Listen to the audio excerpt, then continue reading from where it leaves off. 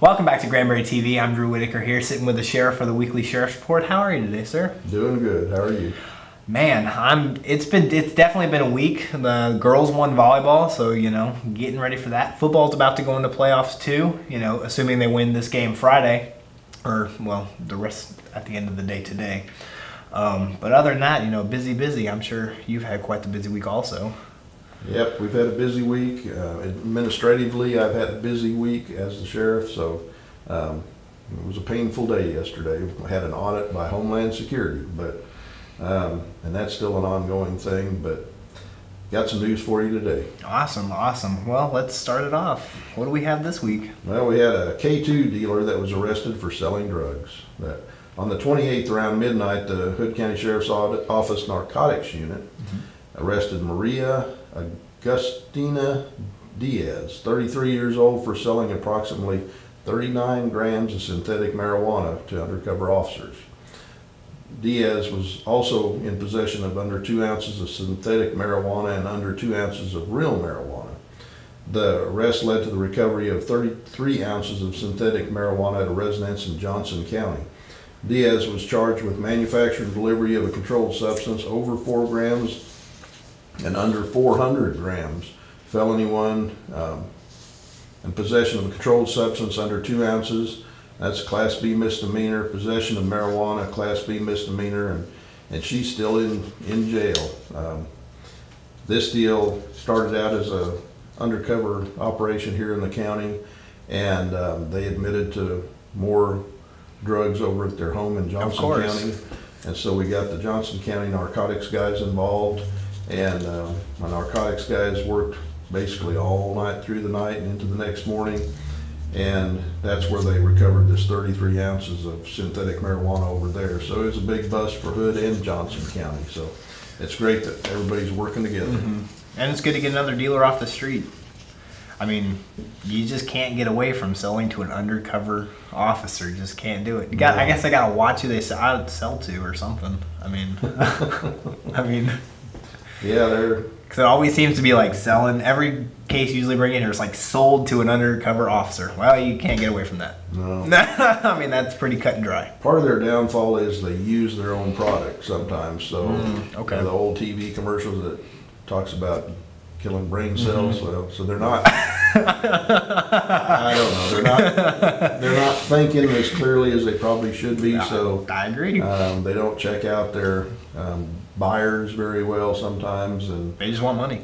they just want money. They just want money. That's their downfall. Yeah. Greed. It Greed, It always so- brings you down. But when they sell to an undercover officer, Pretty know, cut and dry. It's pretty cut and dry. So Yes, sir. the district attorney likes those cases and takes them every day. So he doesn't have a problem at all. So then we had a on the 29th around 3 p.m. We had deputies went to the 5500 block of Old Granbury Road to serve a felony warrant.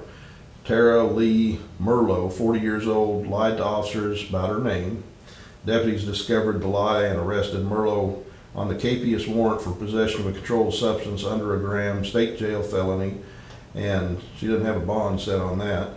And Merlo also had a theft by check warrant, and that's a Class B, and bond was set at fifteen hundred dollars, and was charged with fail to identify as a fug- fugitive, and that's a Class A misdemeanor, bond was set at twenty-five hundred, and um, she's still in jail. So this deal stemmed from uh, another incident that we were investigating, a, um, a case of uh, burglary thefts, burglary of motor vehicles that have been going on out in the, um, that end of Old Granbury Road and um, out in, can't think of the subdivision, but in the area of the 5500 block out there. So we went out there to follow up on some stuff, recovered some stolen property, and, and they made an arrest here when she lied to them, and uh, they really knew who she was, so didn't work out very well for her.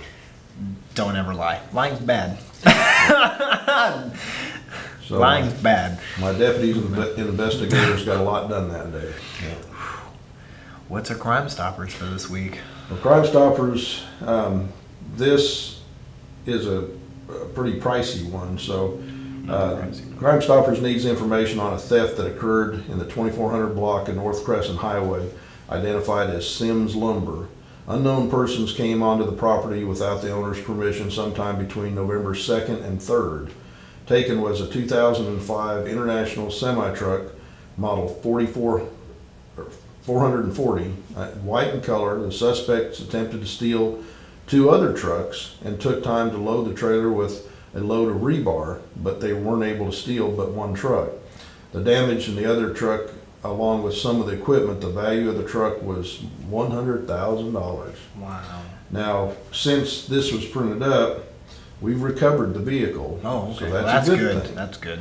But we need any information anybody can get because um, these guys done a whole lot of damage and we're trying to do a whole lot more and steal a lot more. And unfortunately, they had quite a bit of time to do it. So if anybody has any, any information about this, please contact Crime Stoppers at 817-573-TIPS or go online um, to Hood County Crime Stoppers website, hoodcountycrimestoppers.com to submit a tip online, tick, tap, I'm having problems talking. I know. Text tip to 129 plus your message to 274637. All tips remain anonymous. Upon arrest and indictment, you could receive up to a $1,000 cash reward. Well, I'm glad you got the vehicle back. I mean, hundred thousand dollars. It's Yeah. a lot of money. Yeah, this is a, this is a pretty big deal, so we need mm-hmm. any information, and we know somebody has information, or, and they, these people didn't work alone, so maybe one of the partners is mad at the other partner in crime, and, and they need Turn some each money. other. Hey, turn, Turn each other. turn, in. turn, turn, or maybe work a deal there you go. Turn each other. in. Well, thank you so much for coming in. I'm I'm sure again it's been a hectic week for both of us, so I hope your weekend goes really smooth. You know. Hope so too, but But thank you so much for coming, and we definitely appreciate it. dear. thanks for having me.